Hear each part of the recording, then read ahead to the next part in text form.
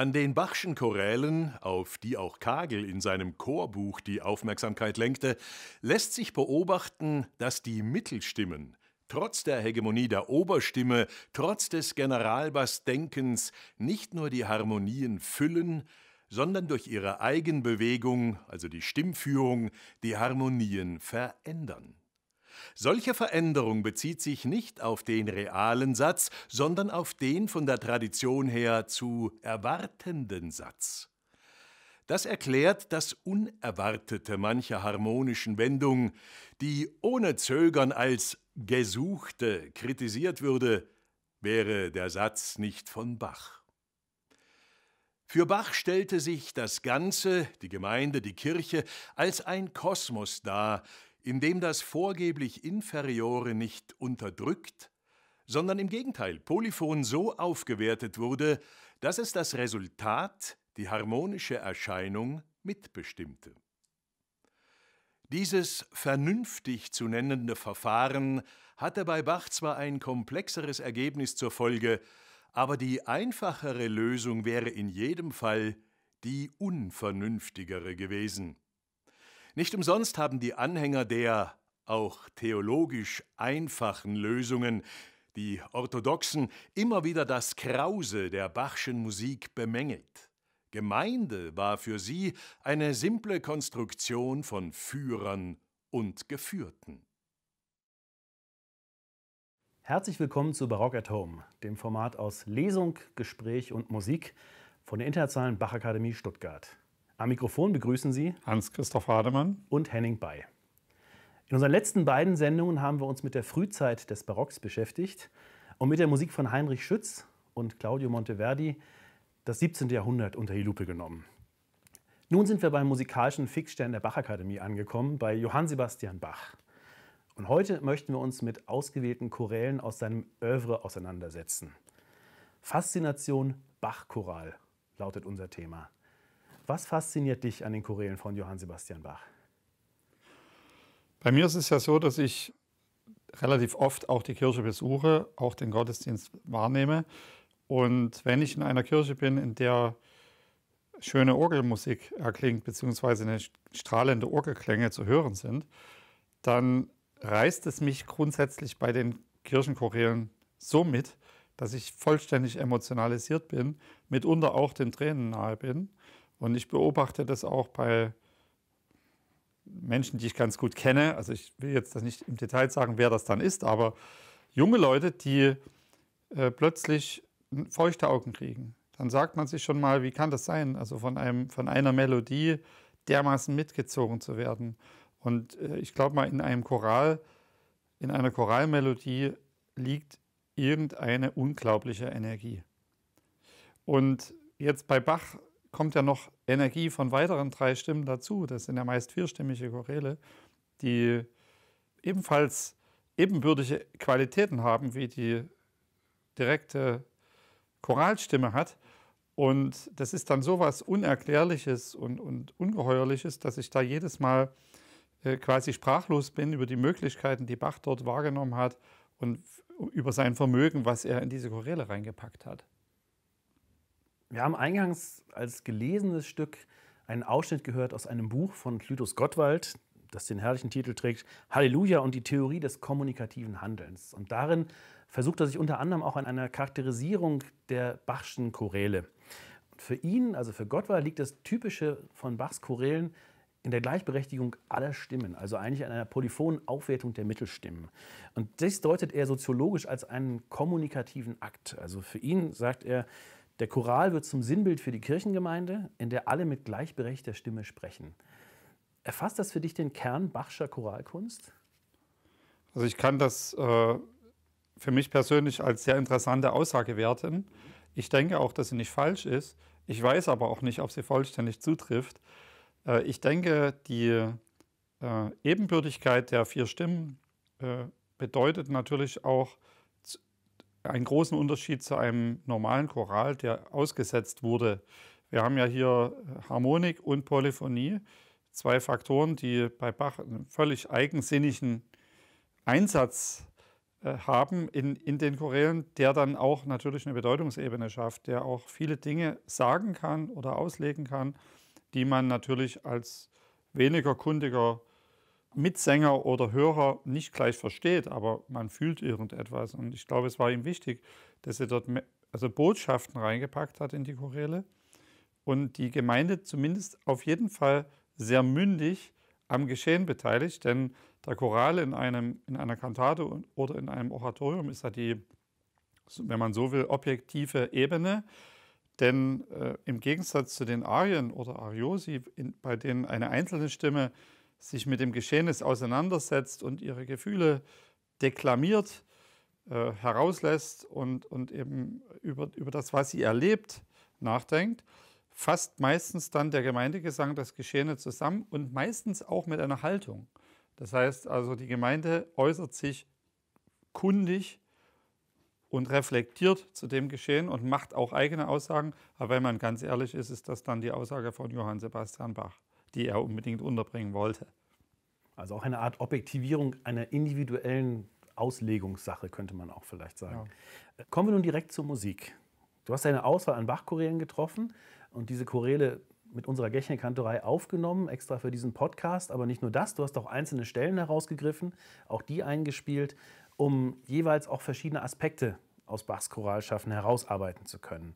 Beim ersten Choral, gleich ein ganz besonderes Stück, das du ausgesucht hast, handelt es sich um den Schlusschoral aus der Kantate O Ewigkeit, du Donnerwort, Bachwerkeverzeichnis 60, Es ist genug. Den hören wir uns einmal ganz an mit der Gächner-Kantorei unter Leitung von Hans-Christoph Rademann.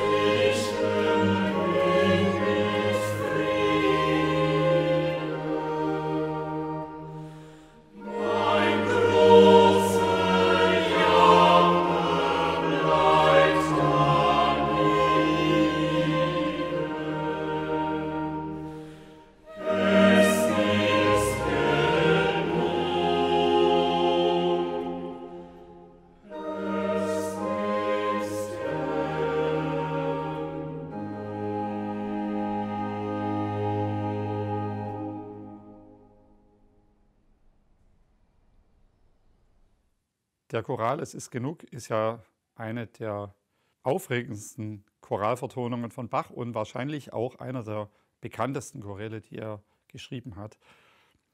Das Lied, das dem zugrunde liegt, stammt von 1662 von Hans-Joachim Burmeister.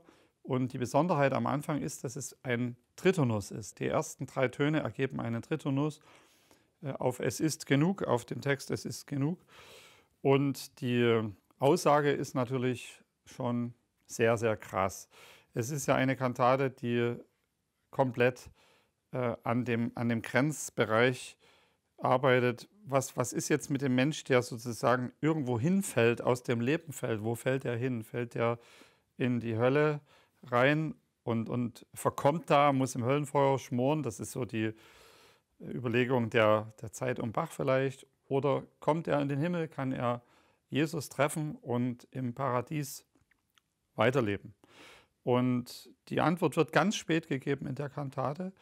Und Bach wollte wahrscheinlich in dem Choral einen Grenzfall darstellen. Eine, eine, es ist eine Grenzüberschreitung. Wenn ich aus dem Leben raus muss, muss ich ja über eine Grenze drüber gehen, äh, irgendwo hin zu gelangen. Und ich vermute, dass er den Choral so komponiert hat, wie er das gemacht hat, mit diesem aufregenden Innenbau, dass er zeigen wollte, hier muss eine komplette Verwandlung stattfinden. Das heißt, aus einer Angst heraus ist es entwickelt. Es ist genug, das ist panisch eigentlich, der Anfang. Und im Verlauf des Chorals setzt dann eine gewisse Beruhigung ein. Es wird auch nochmal kontrastiert, das irdische Jammertal und der, der, der himmlische Bereich wird beruhigend dargestellt und am Schluss löst sich das auf. Am Anfang geht die Melodie nach oben, es ist genug. Am Ende im gleichen Text, wenn das nochmal zweimal erklingt, geht die Melodie nach unten. Das heißt, da begegnen sich das Oben und das Unten. Das, das führt zu einer Zusammenkunft sozusagen von unten und oben. Der Mensch, der ja unten war und nach oben wollte in den Himmel, zu dem kommt jetzt sozusagen der rettende Jesus nach unten. Und man, man könnte da natürlich jetzt stundenlang über den Choral sprechen, aber das würde den Zeitrahmen sprengen. Deshalb habe ich einige Beispiele überlegt. Das erste Beispiel ist dem, dem Anfang gewidmet und dabei erstmal den harten Randstimmen, wenn man so will, die, die, die relativ hart gesetzten Randstimmen, die den Rahmen bilden, der Sopran und der Bass. Und da hören wir uns einmal an, wie das in Töne gesetzt ist.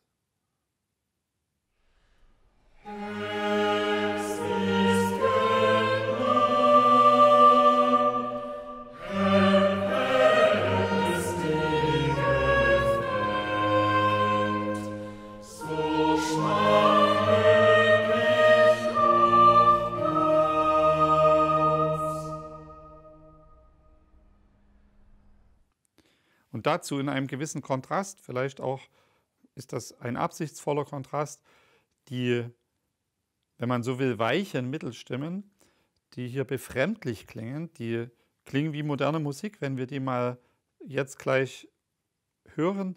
Das ist so ungewöhnlich und so vielleicht auch spröde, aber unterstreicht vielleicht das, was ich gesagt habe mit diesem äh, Grenzbereich, den hier Bach streifen wollte.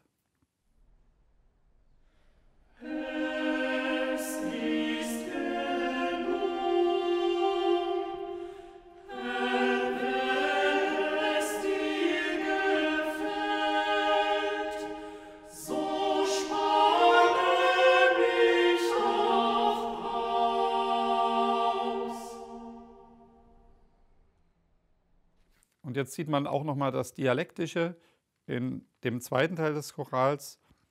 Ähm, ich fahre sicher hin mit Frieden, einmal äh, ruhig geführt und dann mein großer Jammer bleibt hienieden. Also das, was man zurücklässt, so nach dem Motto, äh, hol mich hier raus aus, aus diesem Jammertal. Äh, das, das, ist unerträglich. Also so etwa muss man sich das vorstellen, hat Bach dann ein, ein angespannten Klang entwickelt bei dem Text Mein großer Jammer bleibt Darnieden, der auch in gewisser Weise seinesgleichen sucht. Ja, hören wir einmal ganz kurz in Takt 12 bis 17 hinein äh, vom Choral Es ist genug. Ich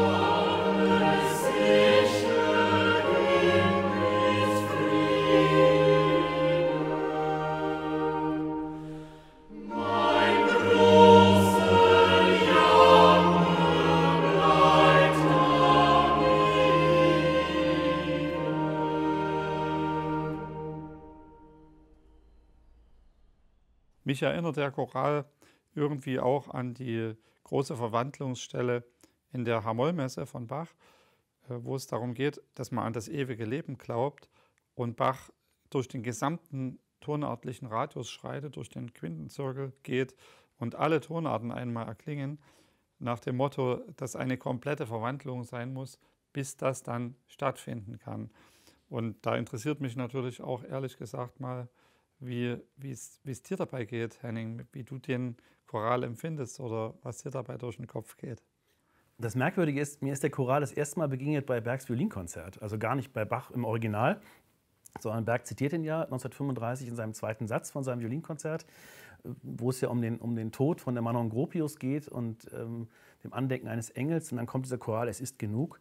Und ähm, als ich dann später das Bachsche Original gehört habe, habe ich erst mal gedacht, na nu, das ist mindestens so radikal wie Berg. Da war ich schon sehr überrascht. Und dann habe ich aber immer irgendwie auch dieses diese unglaublichen krassen Dissonanzen, die du auch genannt hast, im Kopf gehabt. Und habe aber auch für mich, ähm, ich finde es jetzt sehr spannend, dass du sagst, Außenstimmen und Mittelstimmen. Ich habe nämlich eine andere Polarität als erstes gehört. Ich habe gehört, die beiden Oberstimmen gegen die beiden Unterstimmen. Dann habe ich gedacht, ja, wieso eigentlich? Warum? Ist das einfach ein lineares Denken? Und wenn man es harmonisch anguckt, ich finde dann, oder von der Stimmführung auch, spannend, dass ähm, Bach an einigen Stellen einen Regelverstoß begeht dass er also bei Es ist genug, wenn man das so hört, das klingt ja irgendwie ganz schummrig, schaurig, furchtbar. Und dann sieht man, dass Tenor und Bass ähm, in einer Parallele in eine verminderte Quinte gehen. Das ist ja verboten im Kontrapunkt. Ne? Das muss ja eine ein Gegenbewegung sein.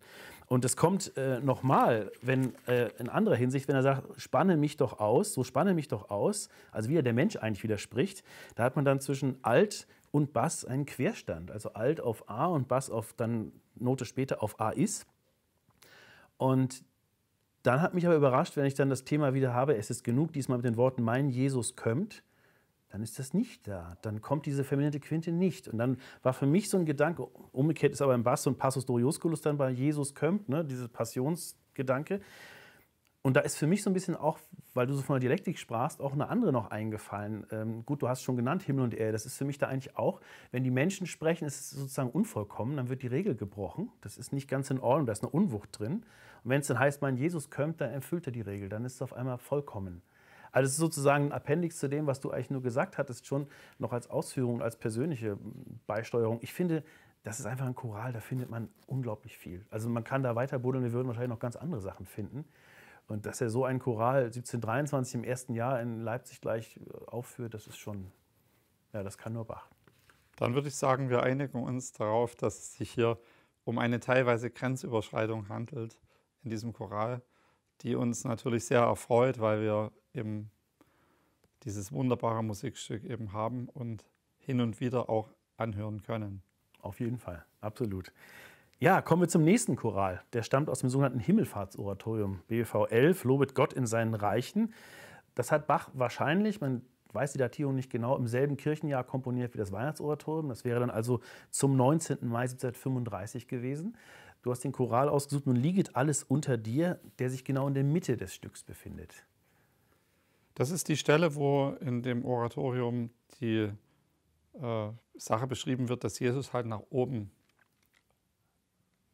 ja, verschwindet quasi und dann aus, dem, aus seiner Perspektive, wo er sich auch immer befinden möge, das wäre heutzutage vielleicht ein Blick aus, aus dem Raumschiff, den nur wenige Leute leider haben können, aber die alle sagen, dass es sagenhaft aussieht. Das hat Bach sich vorgestellt.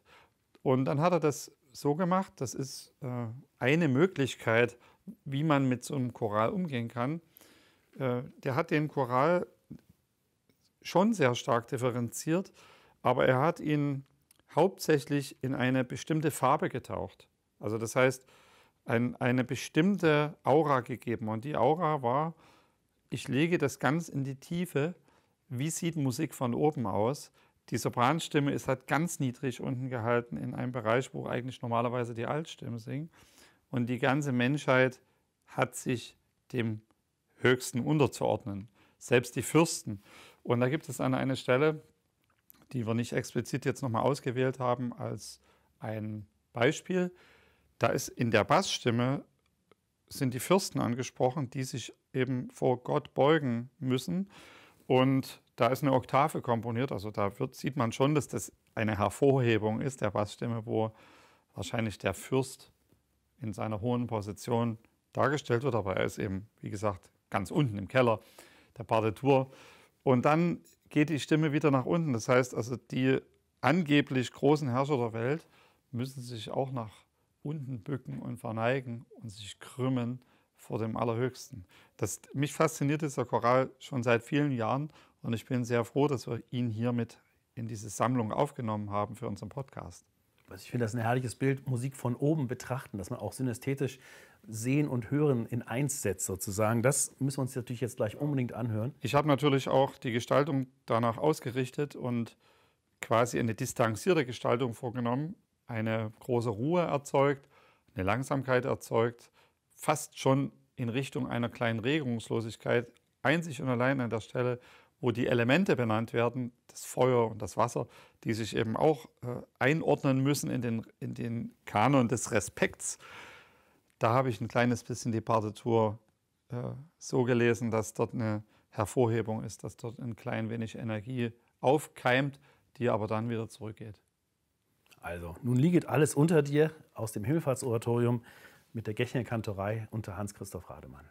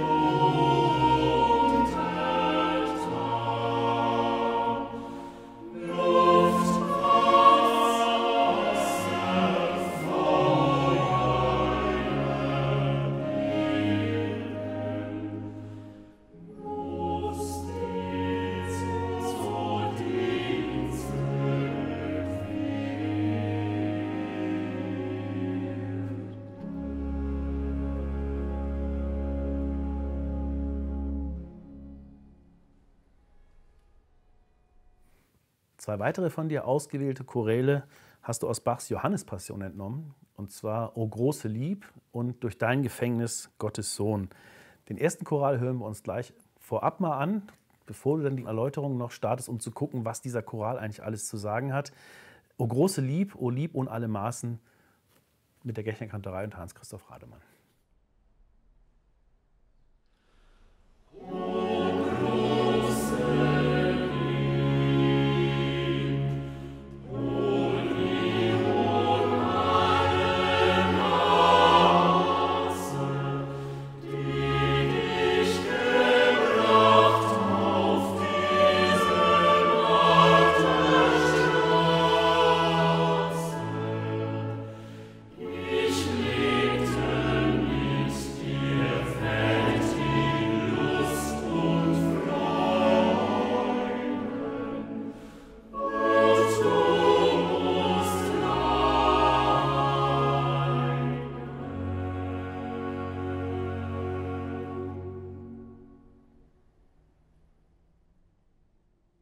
In der Johannespassion äh, von Johann Sebastian Bach spielen die Choräle natürlich auch eine sehr große Rolle. Die äh, Zuschauer, die ja die Gemeinde darstellen, sind ähm, Beteiligte des Geschehens und geben ihre Kommentare. Und an dieser Stelle hatte äh, sozusagen Jesus den äh, gesagt, wenn ihr mich nehmen wollt, so lasset diese gehen. Und darauf reagiert die, die Gemeinde mit Zustimmung akklamiert und sagt, O große Lieb, O Lieb und alle Maße. Und das ist immer eine, eine Stelle am Anfang, wo man ja auch als Interpret hat, seine Zweifel hat. Äh, wir haben ja immer diese Choräle mit den Fermaten. Wir haben an, an den Zeilenenden immer Fermaten, an den Textenden Fermaten. Und wir wissen ja auch, dass zur Zeit von Bach da improvisiert wurde. Äh, wir haben also jetzt den, die Freiheit zu entscheiden, halte ich eine Fermate lang oder gehe ich mit dem Text und wenn es kein außerordentlich wichtiger Punkt ist, dann geht man einfach weiter. Äh, das ist tatsächlich so, dass das auch freies Ermessen sein darf. Und ich habe äh, immer für mich gesehen, dass es außerordentlich ist, diese große Liebe darzustellen, dass man sagen sollte, diese Liebe muss man etwas vergrößern, da halte ich die Fermate.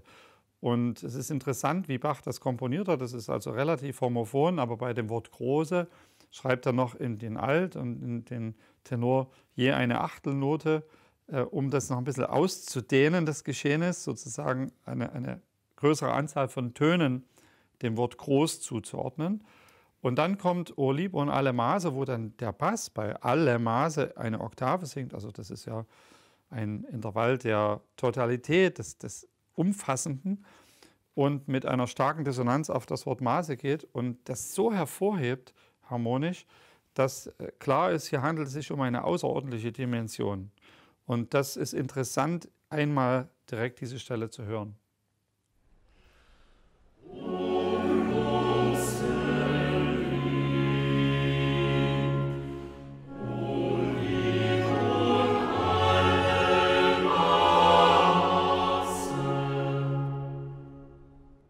Und dann kommen Motive vor, die wir auch schon im Choral Es ist genug gehört haben, nämlich äh, die, die, Mein Jammer bleibe Tiniden hieß es da und da ging im Bass eine chromatische Linie nach unten, die ein Lamento ist, die den ganzen Schmerz der Welt zeigt.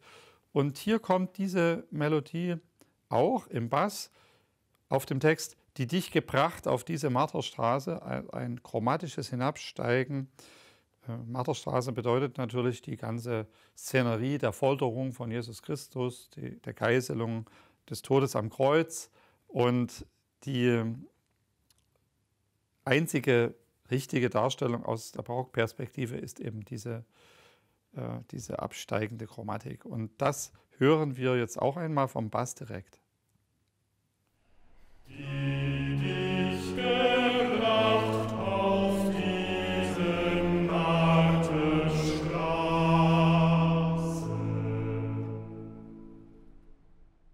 Der Bass, der gerade den Passus Duriusculus äh, musiziert hat, hat damit eben auch jetzt nochmal ein klares Beispiel dafür gegeben, wie in der Barockzeit gedacht wurde. Es gab formal eben für bestimmte Musik und Textbeziehungen Intervalle, Motive, die genau das nachvollziehen. Und das ist ein herausragendes Motiv, das einfach tatsächlich auch dazugehört zum Verständnis der Barockzeit. Und ich denke, wenn man da als Hörer auch ein wenig Ahnung davon hat, dann weiß man auch, aha, hier geht es auf jeden Fall um einen äußerst schmerzvollen Vorgang und kann sich auch erklären, warum sich diese Wirkung einstellt, wenn man das anhört. Ein regelrechter Affektbaustein, den genau. man da verwenden kann. Der nächste Chor aus der Johannespassion spielt eine ganz besondere Rolle in dem Stück. Durch dein Gefängnis, Gottes Sohn, muss uns die Freiheit kommen, heißt es da. Und auch den hören wir uns erst einmal ganz an. Und nach der Erläuterung hören wir uns auch noch mal ruhig an, weil das, das sich lohnt gerade bei diesem Choral. Also hören wir ihn zuerst einmal mit unseren Ensembles der Gechner Kantorei unter der Leitung von Hans-Christoph Rademann.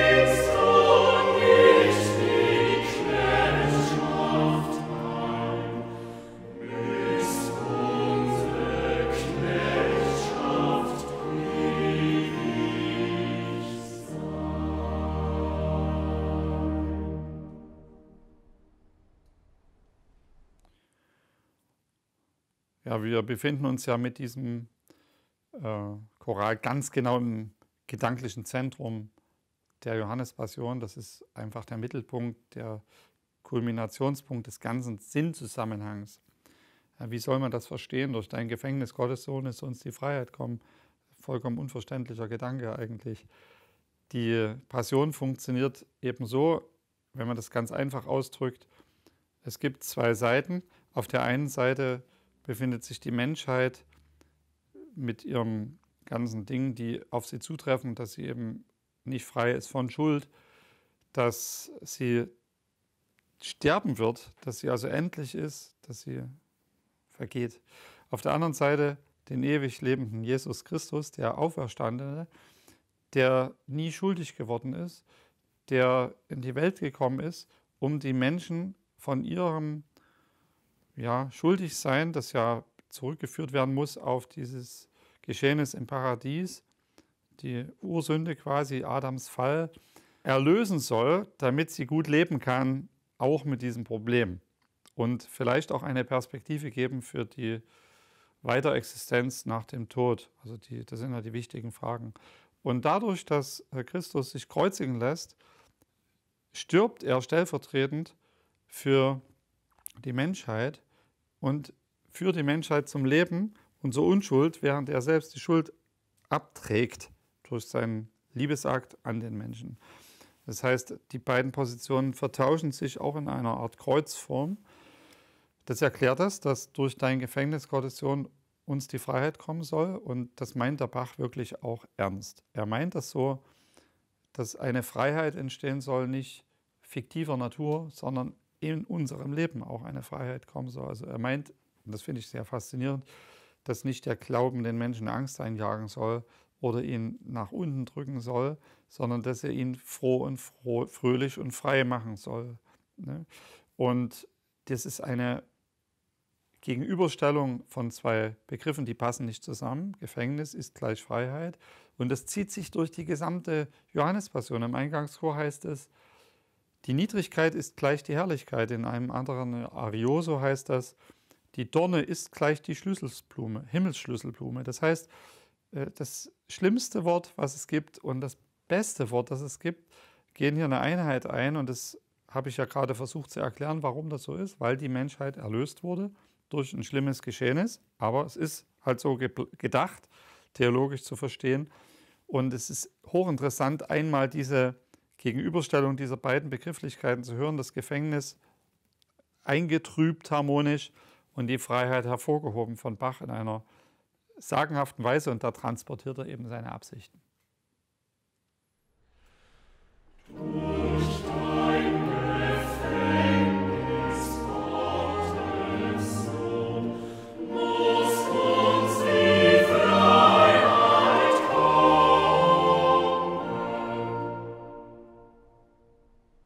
Es ist ja keineswegs so, dass äh, der Komponist jetzt das Schlimme, was dort passiert, das Schmerzvolle beschönigt, sondern es liegt ihm ja gerade daran, auch hier Gefühle zu entwickeln beim Hörer, den Hörer aufzuwühlen. Und das gelingt ihm sehr gut bei der Stelle, den gingst du nicht die Knechtschaft ein, wo ein unwahrscheinliches Espressivo in, in diesem Choralsatz vorkommt, dass wir äh, besonders bei den beiden Stimmen alten Tenor hören, die sehr parallel geführt sind.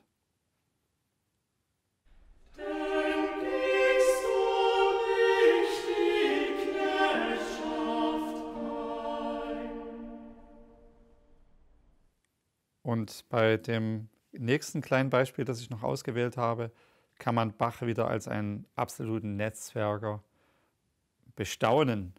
Er schreibt nämlich, müsste unsere Knechtschaft ewig sein. Die Knechtschaft korrespondiert ja mit dem Wort Marterstraße. Und dann dreht er den chromatischen Gang nach unten, nach oben um und symbolisiert sozusagen in der aufsteigenden Chromatik, worum es geht. Es geht um die Knechtschaft, um die Marterstraße. Aber dadurch, dass die Melodie andersrum verläuft, ist gleichzeitig der Erlösungsgedanke von dieser Marterstraße eingraviert vom Sinn. Und ich finde, diese drei kleinen Beispiele können schon sehr gut zu einem Verständnis dieses Chorals beitragen und auch ein klein wenig zeigen, wie Bach da gearbeitet hat.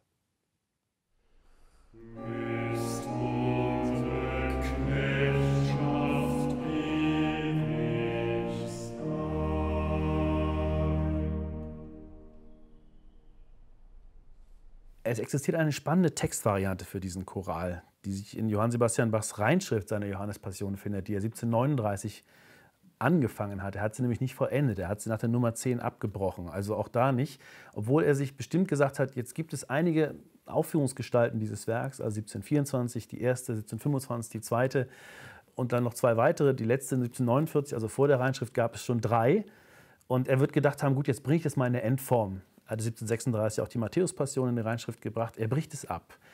Aber 1749 gibt er es einem seiner Kopisten, mit denen er eng arbeitet, und lässt ihn das fortführen. Das heißt, wir können doch sehr davon ausgehen, dass Bach das autorisiert hat, was dieser Kopist da gemacht hat. Er hat in diesem Choral ein Wort nur verändert. Und zwar, das hast du am Anfang sogar auch aus Versehen schon sogar erwähnt und zitiert. Er schreibt statt, durch dein Gefängnis, Gottes Sohn, muss uns die Freiheit kommen, wie es sonst in allen Teilen auch heißt, in allen Fassungen. Durch dein Gefängnis, Gottes Sohn, ist uns die Freiheit kommen. Und du hast in deiner Aufnahme der vierten Fassung der Johannespassion mit der Gäche-Kantorei auch extra das genommen. Warum und was sagt dir das, diese kleine Veränderung? Ja, das hat mich natürlich so beschäftigt, dass ich es gleich falsch gesagt habe heute, beziehungsweise richtig gesagt habe, aber nicht zutreffend für die ersten drei Fassungen. Die ist sehr stark, die Veränderung, denn das Wort muss ist eine uneingelöste Forderung oder Erwartungshaltung und das Wort ist ist eine Tatsache.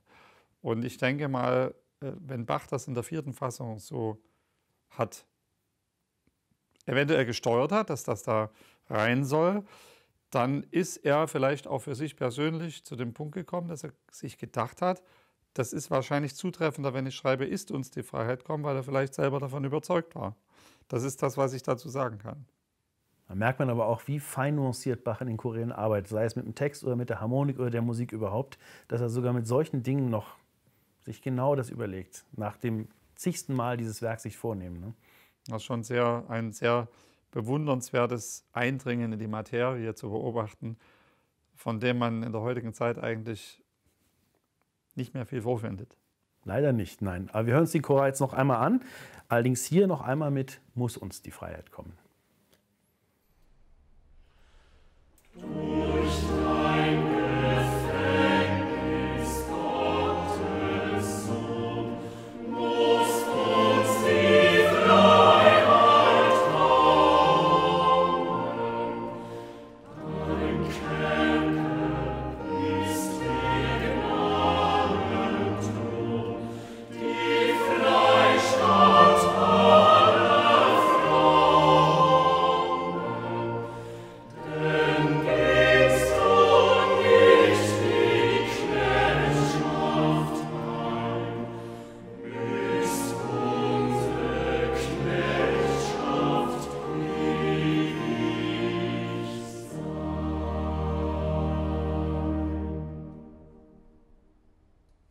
Haben schon ein paar Mal erwähnt, das heißt, du bist schon ein paar Mal drauf gekommen auf Interpretation von Bach-Chorälen. Deswegen Stichwort musikalische Interpretation. Wir haben wieder ein Stück, das Stefan Müller-Ruppert gleich lesen wird. Und zwar hat Johannes Brahms Ende der 1850er Jahre mit dem damals amtierenden Thomaskantor Moritz Hauptmann einen Briefwechsel begonnen. Und zwar hat er, Brahms war wirklich unglaublich sorgfältig dabei. Er war ja auch einer der ersten, der in der alten Bach-Ausgabe mitgearbeitet hat. Er hat ihn gefragt, wie er gewisse Dinge bei Bach aufführen soll. Ich muss die Autorität fragen, das ist der Nachfolger Bachs auf Erden.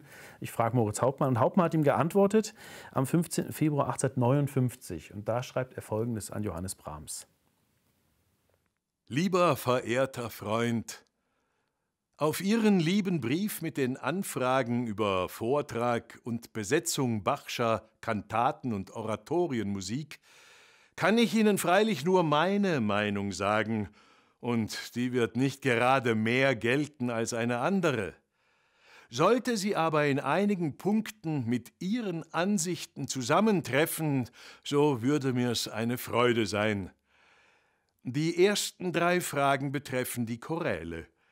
Erstens, ob eine Nuancierung durch Forte und Piano, Crescendo und Diminuendo bei den Chorälen zulässig sei. Zweitens, ob man die bei Sebastian Bach vorgeschriebene Orchesterbegleitung weglassen dürfe. Drittens, ob bei manchen Chorälen ein kleiner Chor für den ganzen eintreten dürfe.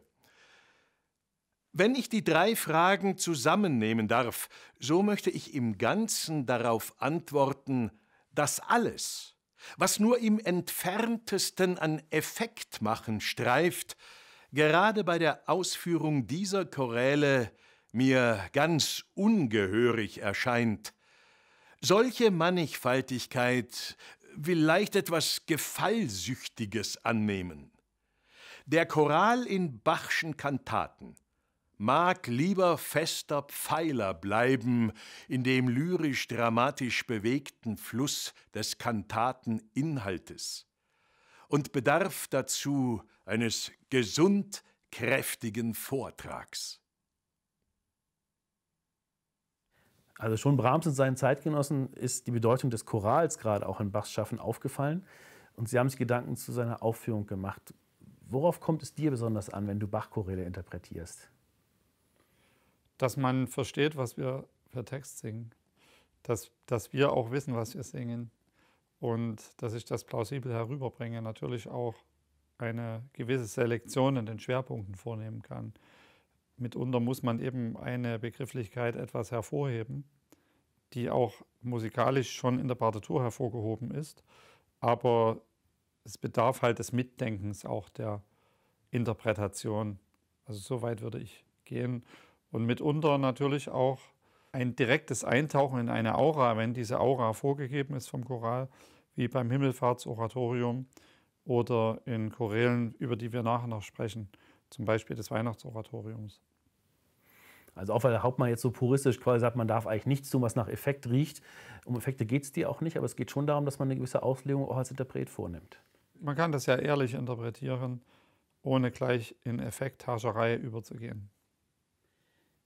Werfen wir noch einen Blick auf Johann Sebastian Bachs große Passion, wie Robert Schumann einmal die Matthäus-Passion genannt hat.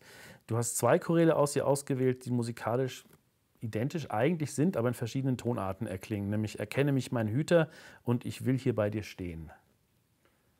Da haben wir wieder ein Beispiel, wie Bach vorgegangen ist und wie, wie klug er komponiert. Eine unglaubliche Stelle in der Matthäus-Passion, die wir hier beleuchten.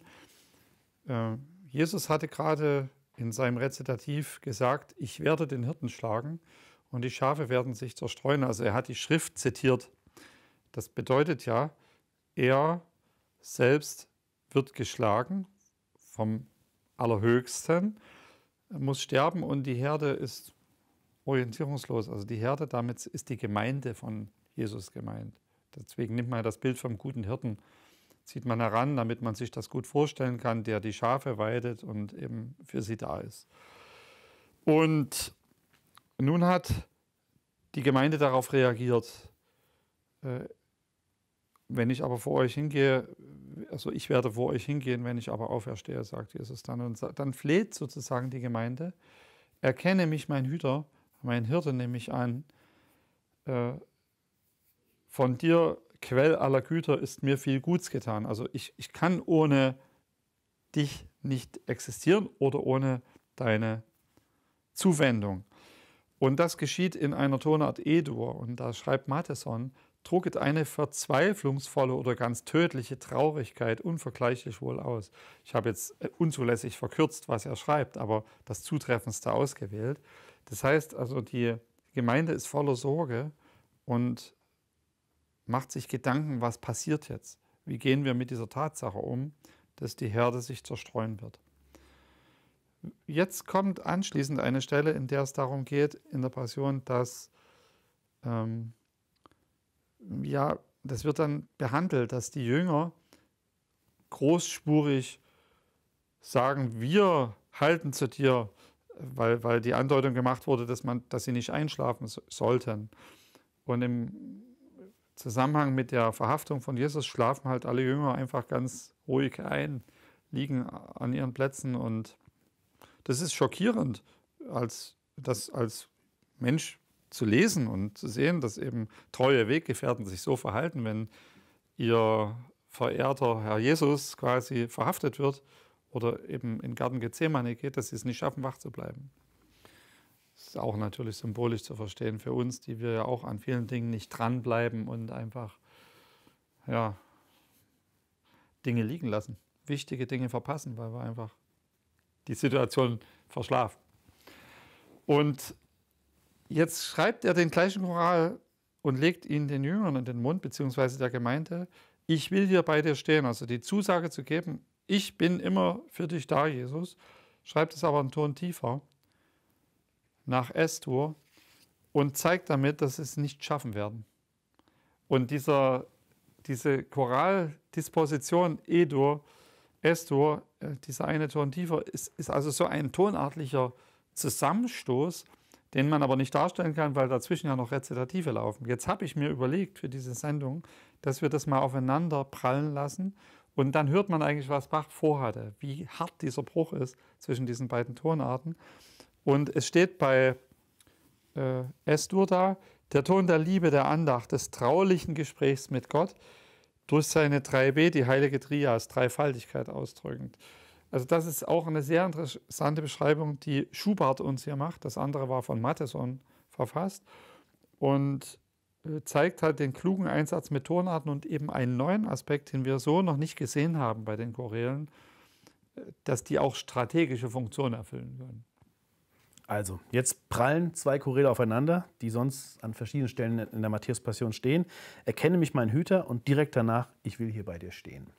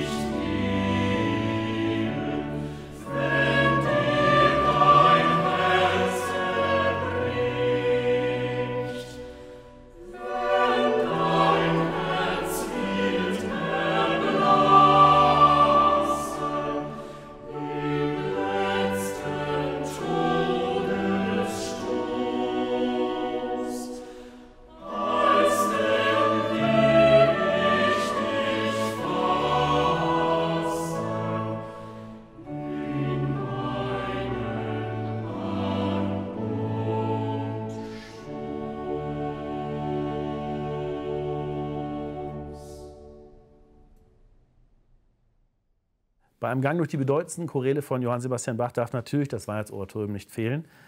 Ähm, erstmal hören wir einen kleinen Ausschnitt aus einem weiteren Buch. Und zwar hat John Elliott Gardner, einer der großen Bach-Spezialisten unserer heutigen Zeit, 2016 ein Buch veröffentlicht, das heißt Bach Musik für die Himmelsburg. Music for the Castles of Heaven im Originaltitel. Und dort schreibt er auch über die Choräle im Weihnachtsoratorium. Hier im Weihnachtsoratorium begegnen uns immer neue Ideen Bachs für den Umgang mit Chorälen. Fallen an seinen frühen Choralharmonisierungen die klaren melodischen Konturen, das kontinuierliche metrische Voranschreiten, die zielgerichteten Akkordfolgen und später die abwechslungsreicheren Harmoniefolgen und atemberaubenden Durchgangsdissonanzen ins Auge, so scheinen die des Weihnachtsoratoriums noch natürlicher aus der Verschränkung der einzelnen Stimmen, sprich aus der Stimmführung zu erwachsen und zeugen von einem noch größeren Gespür für Proportionen und Ausgewogenheit.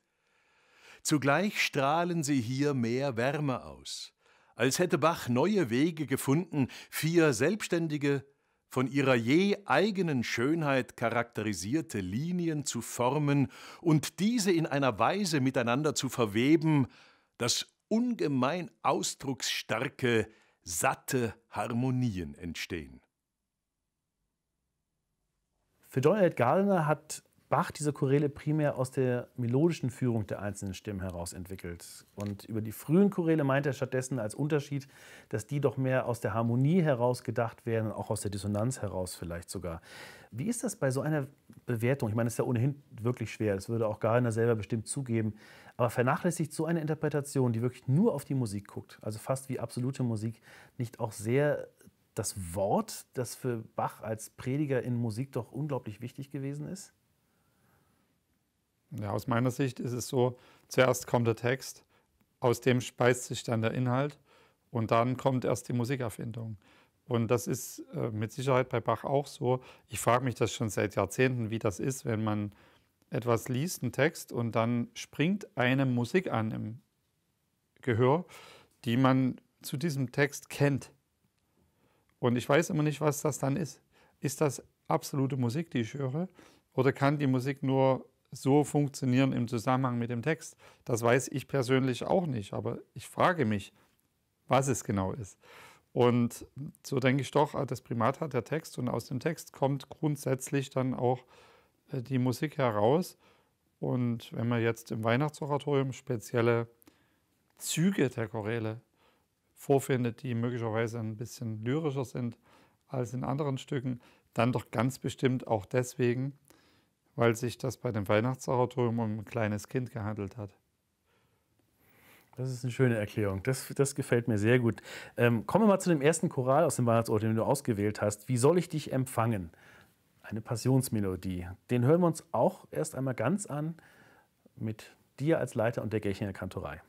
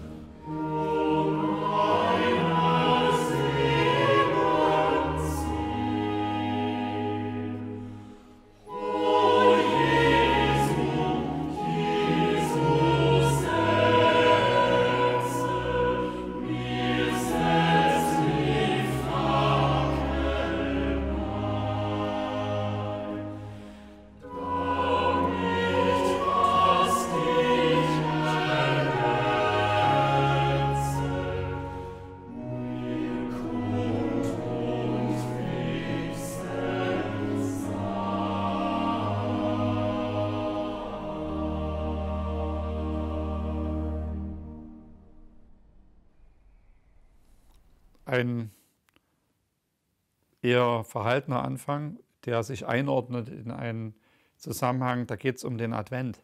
Der Advent ist ja eigentlich eine Fastenzeit, in der man sich vorbereiten soll auf das Kommen von Christus, also auf, die, auf das weihnachtliche Geschehen, in der man auch auf was verzichten sollte. Das ist natürlich in unserer heutigen Zeit leider ganz anders, weil ab November die Menschen ja quasi unter Vollstress stehen, dass sie alle Weihnachtsgeschenke zusammenbekommen. Das ist äh, vielleicht nicht so geplant und nicht so gedacht. Das ist sehr schade, weil man damit vielleicht auch die herrliche Zeit des Jahres Advent ein bisschen zerstört. Äh, aber hier ist es bei Bach ganz ernst und eindringlich gestaltet in dem Choral. Wie soll ich dich empfangen? Da stellt man sich erstmal die Frage, wie soll ein Mensch damit klarkommen, dass Christus gebrochen werden soll oder dass der Sohn Gottes auf die Welt kommen soll, nach unserem religiösen Verständnis, das kann man ja gar nicht verstehen. Und dann fragt der Alt, wie soll ich dich empfangen mit lauter Seufzermelodien, sehr, sehr nachdenklich. Und das empfinde ich als persönlich als sehr berührendes, schönes Detail in diesem Choral.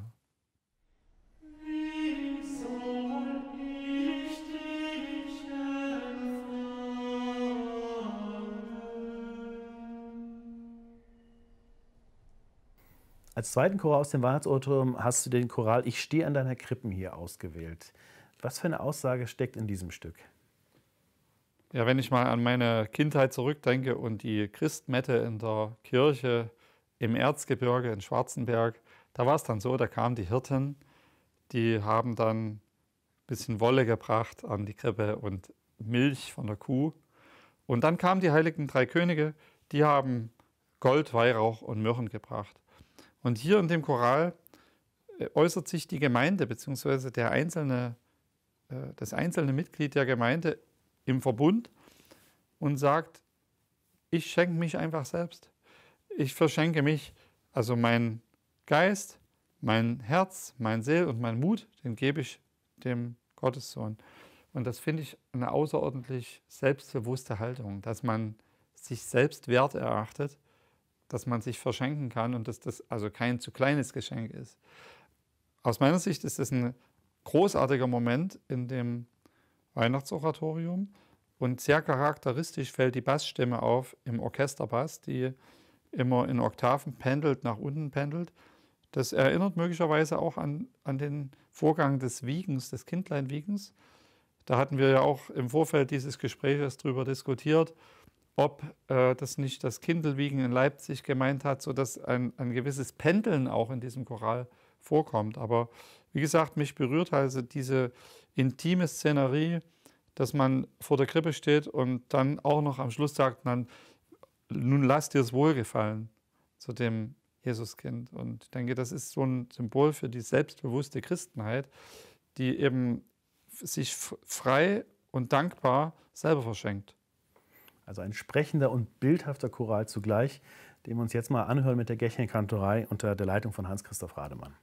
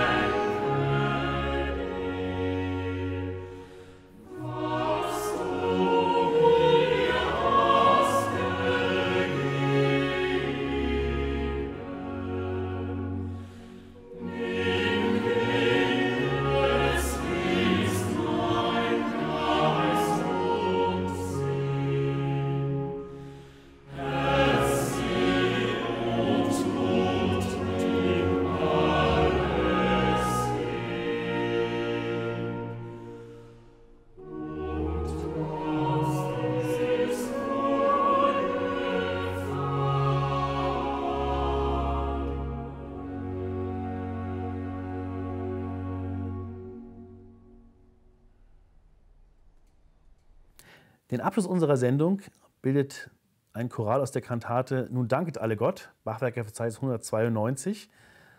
Und zwar Lob, Ehr und Preis sei Gott, also ein Gotteslob. Wie vertont Johann Sebastian Bach das? Ich wollte unbedingt noch äh, eine Choralbearbeitungsfassung äh, in die Choräle reingeben, also mit Orchestervorspiel und Zwischenspiel und Nachspiel, damit man auch sieht, der Umgang von Bach mit dem Choral ist natürlich viel weiter gestreut, als wir das in so einer kleinen Sendung zeigen können. Wir hatten ja letztendlich schlichte normale Choräle dabei, aber es gibt ja auch Choralbearbeitungen, die man ja auch als Choral bezeichnen muss. Und hier geht es um die Trinität, Vater, Sohn und Heiliger Geist. Die Zahl 3 steht für das Göttliche, die Zahl 4 steht für das Irdische. Wir haben einen Zwölf-Achteltakt, das ist ein Vierertakt in 4 mal 3. Und hier beschäftigt sich Bach einfach damit, wie er das Ganze so in eine Szenerie versetzt, dass Himmel und Erde gemeinsam jubilieren und in eine Schwingung versetzt werden, die auf den kleinsten Werten beruht, also der, den zwölf Achteln in dem gesamten Satz und der schwingt von Anfang bis Ende durch in einem bestimmten Ausdruck. Also hier geht es tatsächlich um die Klärung 4 und 3 ergibt ein Ganzes. Mit diesem Choral verabschieden wir uns von Ihnen.